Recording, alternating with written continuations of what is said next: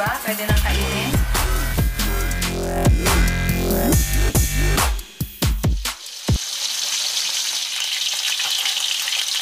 Ayan na.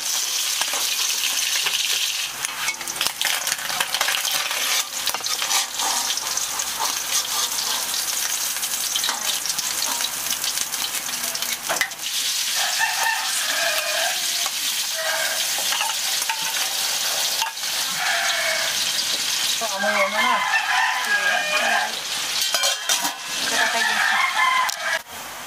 Yung sa'yo, okay naman.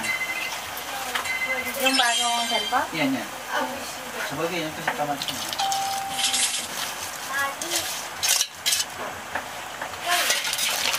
Ah, ay.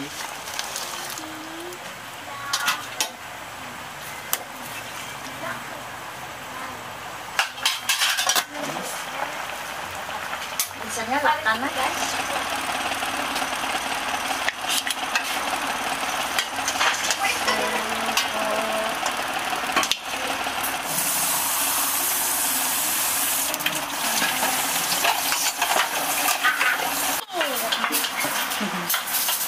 diba? Pwede nang kainin.